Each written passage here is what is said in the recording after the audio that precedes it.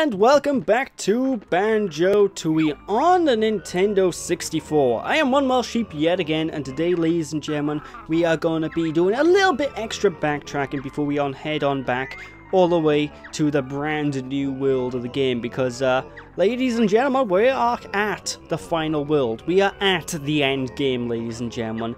Oh, can you feel the excitement? I certainly can.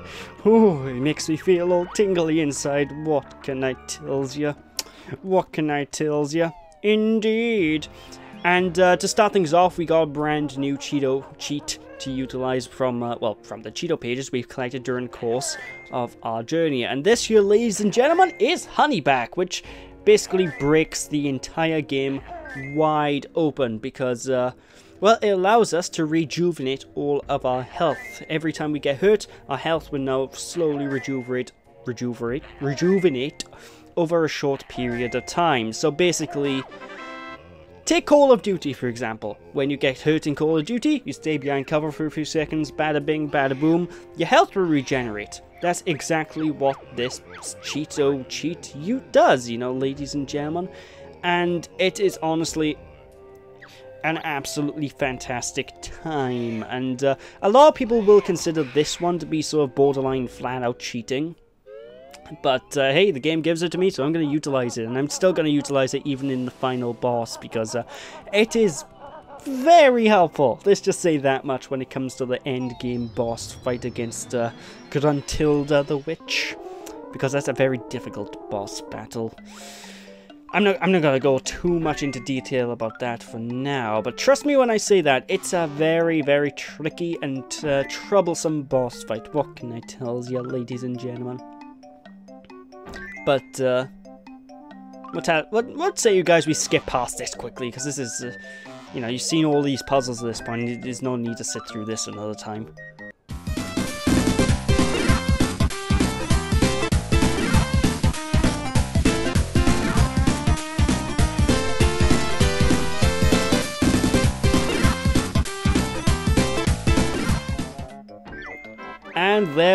Are, so now we have opened the way to the next world of the game. And we've already been to the entranceway of this world, ladies and gentlemen, so uh, let's just see the laser beam commence, shall we? And if I sound a little bit different during the course of this video, it's um, it's largely because I am actually recovering slightly from uh, I don't know exactly what it was, but I, I, had severe, severe throat pain to the point that I couldn't talk. And even now, it's a little bit straining in my voice to actually talk, so I may sound a little bit different. And uh, I do apologize for that, but I, I, I, can't sit by for ages and just not have a Let's Play coming out, you know, ladies and gentlemen. It's, uh, it's killing me. It's killing me. I've been bored out of my mind not being able to do these LPs, what can I tell you? So, uh, yeah, if, if my voice sounds a little bit different and I'm, if I'm a little bit more quieter during this part or the next couple of parts, um, that's going to be why. I'm still slightly recovering, but uh, I finally got to the point where I can actually talk over the footage. It's just a matter of, can I handle, can my throat handle it? That's what I'm sort of hoping. And if you guys are seeing this video right now on YouTube, then it's quite obvious my throat can handle it, but... Uh, you know, that's, that's also a sort of reason why I haven't uploaded for a while. But anyway, heading on back to Jolly Rogers Lagoon, we need to talk to Tiptup by here because, uh, well, actually, don't need to talk to Tiptup. All we need to do is actually lay on the egg and uh, hatch this egg using our ability we got back in Terrydactyland. And, uh, yeah, this'll get us a fantastic Jiggy. What can I tell you, ladies and gentlemen? What can I tell you? Indeed. Mm. But it looks like Tiptup's baby by here is a little bit upside down, or tipped up, if you know what I mean. uh, you can't rage at me, Kazooie made that pun as well, so you can't just rage at me about that. But uh, yeah, just whack the baby and it'll go back up onto its feet and uh, crawl slowly into the ocean. What can ya? Look at him sliding off all jolly like. Makes sense, we are in Jolly Rogers Lagoon, you know, you'd, you'd want the NPCs to be rather jolly, wouldn't you? Hmm, yes. But, uh, let's just grab this fantastic Jiggy and, uh, get our ways out of here. And, uh, head on into yet another portion of Jolly Rogers Lagoon because, uh, well, we still have a little bit of extra content. Like, behind Jolly Roger's actual shop, there is a little area that you might have seen me blow up previously. Go into yours Kazooie alone and you'll be able to glide across here using the ability from uh, Hailfire Peaks and uh, pick up that fantastic Jiggy. Hell to the yeah. And uh, this is all pretty much the last of the backtracking we're going to be doing, ladies and gentlemen. After this point, we're basically... We're basically almost 100% done with the game, you know? Like the There is slight bit of backtracking after this, I believe, once we finish the final world, but it, it doesn't take that long at all, so you know, for all intents and purposes, we, we're basically we're done with collecting all the major MacGuffins. We're done with almost every single level of the game. But uh, if you head into the undersea sort section of um, Jolly Roger's Lagoon go into this one room. If you recall when we first visited this room, we couldn't really do anything in here. Well, now we can actually use Kazooie's split gliding ability, so let's just split up, choose Kazooie, and uh, there's actually a Cheato page just hanging in the balcony over yonder that we can uh, we can basically glide to and pick up, you know, ladies and gentlemen. And I do believe there is a way to MacGyver your way to get in this this um this Cheato page a little bit earlier if you utilize like the Clockwork Kazooie egg, but um, honestly, considering I had to backtrack to this level anyway, I figured I might as well just uh, wait until I do all the backtracking and get as much of it done at once, you know, ladies and gentlemen? because uh, I don't know, it seems more efficient to me, you know, just to do all the backtracking I can in one fell swoop and then uh, progress onto the next level after that's all done, you know, ladies and gentlemen. Ah, but I digress. But with that, that is all the backtracking we're doing for this part, so now it's time to head on back to the wasteland, and uh, as you saw, the giant laser beam from earlier on created a bubble! That bubble is the entrance way to Cloud Cuckoo Land, the final world of the game, and quite possibly one of the weirdest worlds in the game, if not the weirdest, because we are going into the heavens, ladies and gentlemen. Our Jiggies will be the Drake Jiggies that pierces the heaven. I don't think that that reference really works, does it? Well, either way, Cloud Cuckoo Land, like I said, one of the craziest stages in the game, and simultaneously one of the, well, not one of, this is the hardest standard level of the game, and it houses some of the most frustratingly difficult tasks for us to accomplish. But first things first, we have a not so frustrating task but here. This here is Mr. Fit. Basically, during the course of this world, he's going to be giving us a set series of challenges in order for us to defeat him. And, uh, when we beat all three of these challenges, he will give us a fantastic Jiggy. The first one of these challenges is simply to do a high pole vault. So, um, as you can probably guess, we can't do it right now as we stand. We do need to get some power-up, but fortunately the power-up's not too far away. And oh my god, the frame rate's terrible. Ah! Ah, seriously, the frame rate in this stage is just god-awful, and uh, yeah, the limitations of the Nintendo 64 really do show here. What can I tell you, ladies and gentlemen? And this is probably a big reason why a lot of people would probably recommend the um, Xbox One or Xbox 360 versions of this game because uh, you don't have any of the slowdown in those versions. The, those versions are at oh no 60 FPS. So they're they're, they're a buttery smooth 30 FPS, you know, and it, it works. So uh, that's my recommendation with Banjo Tooie, especially get the Xbox versions. But sheep, why have you been LPing the N64 version? Ah. Well, it's quite simple, random internet user. I prefer the controller, and uh, I wanted to show off the game as I grew up playing it. Warts and all. So, uh, there we are. But anyway, just basically destroyed those uh, rocks, but had to pick up a couple of, of uh, beans that we're going to be utilizing a little bit later on in the stage and pick up these fantastic jumping shoes to jump over the high pole vault. And, uh, yeah, basically Mr. Fit's going to run off to his next point so we can actually run up to Mr. Fit and then do his next uh, mission, which is actually a... I don't know what the name of that race is called. I remember back in, like, uh, my... When I was really young back in school, I remember doing it. Um, it's like... Basically, it's a, it's a race where you, you have a bag and you have to hop your way to the end. I don't know what it's called, but... Uh, Basically, we need to do that sort of race, and yeah, there's a power-up that we need to utilize that I do believe we'll be picking up in... yeah, in this world, I think. That, uh... we'll be needing to use. But for the most part, there we go. It's time to enter into the central cavern and uh, walk out of it. What am I doing? Why am I? What, what am I doing? Oh, I see. I see what I'm doing. I'll, but basically, as I was saying, that central cavern is going to be our central point during the course of this map. It's where, we're going to be going to go from different areas during the course of this world. Basically, it's it's our main hub of this world. That's what I'm really getting at. But uh, if you see this, and look down, there is a Clockwork Kazooie egg sort of switch. Uh, there's, there's four of them located during the course of this world, and we do need to hunt out all four of them in order to uh, basically blow them up and explode them. But before we do let's head on over here and talk to this guy. This is George. If you remember in Hailfire Peaks, we actually met his wife, Mildred, who uh, wanted us to find him before we brutally, brutally murdered her. And, uh, well, simply put, George here is afraid of heights and he's stuck up here, so we need to help him out. And actually, us helping him out, well, let's just say it helps out with a massive side quest that I've been teasing us about all the way during the course of the playthrough. Because, uh, yeah, George got sent off to the wrong side of Hailfire Peaks, and hey, what if you look at that switch, whoop-de-doo, it's cooled down the water. What does that mean? Well, we can actually use that water now to warm up the pool in Jolly Rogers Lagoon for the pig kids. So yeah, we, you know, we're, everything's slowly coming together in this world, and in this world as well, this is the point where all of the Jinjos, everything's going to start slowly being collected, and you're going to start seeing a hell, and I mean a hell of a lot of your progress just jumping up, really. You're going to be collecting a lot of items during the course of this. But anyway, as I was saying, you need to use a Clockwork Kazooie egg on those Clockwork Kazooie switches in order to open this safe, which, oh, as you can guess, contains a Jiggy.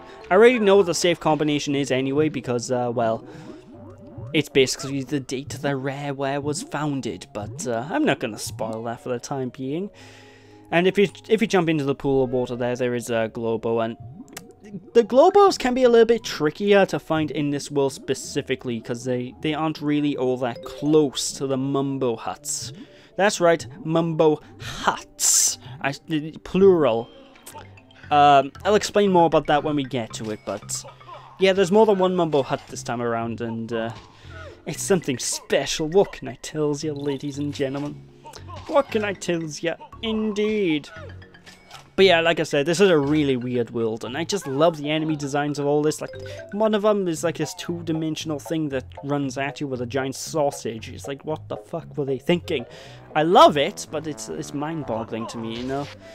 But, um, Anyway, when it comes to the Mumbo Huts, uh, there's two of them in the world. One of them is actually a real Mumbo Hut, and the other's a fake. If there's a Minjo inside the Mumbo Hut, it's a real one, which means you don't want to go into it just yet.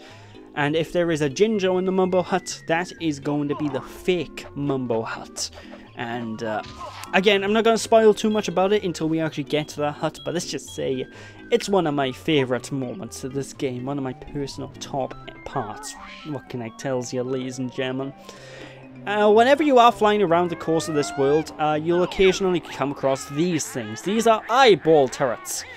Uh, they'll shoot you out of the sky, and they do have a Jin... a Jinjo? They do have a Jiggy inside of them. We will be dealing with them pretty much at the very end of the world, but you know, watch out for them if you're flying around because they will shoot you out of the sky and uh, that's no good, as a certain blue mongrel would say, or blue marsupial. No, it's marsupial.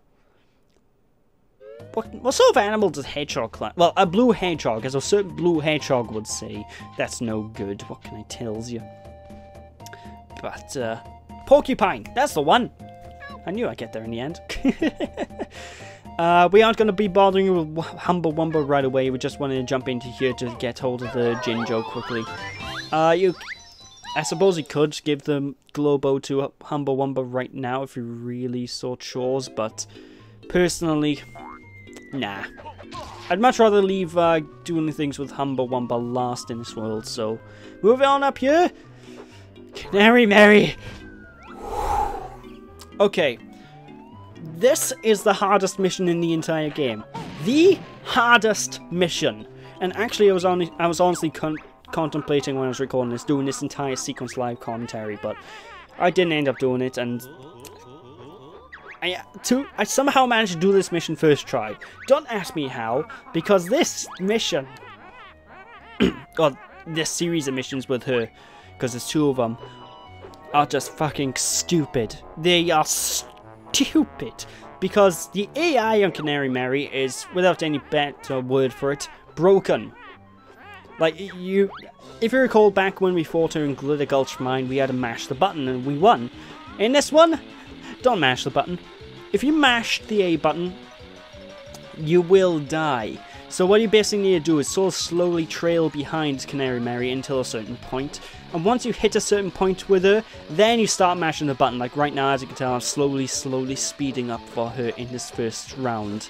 And uh, the first round is uh, it's a little bit tricky, and if you don't know the right time to actually start mashing, you will will lose because uh, well she'll just shoot on ahead of you because she actually cheats and takes shortcuts that you cannot actually go to because obviously you're stuck on rails but um, I'm making this look rather easy trust me when it comes to the second phase oh, the literal nightmares were had in the second phase of Canary Mary and there is a very specific way to beat her that I will highlight as best I can because I couldn't figure out any other way to beat it other than use this strategy that took me a good hour or so to actually work out. Because, uh, she has Rubber Band AI. The Rubber Band AI is based on how quickly you move at the start of the, um, at the start of the whole mash button mashing process as well as the speed that you're going throughout the course of the button mashing. So what you need to do is you need to start off by uh, delaying yourself and not pushing any buttons. Then slowly trail behind her. As you slowly trail behind her, then you need to wait for a very, very, very, very specific point in the in the map to actually just mash the button and go freaking nuts because she she's stupid.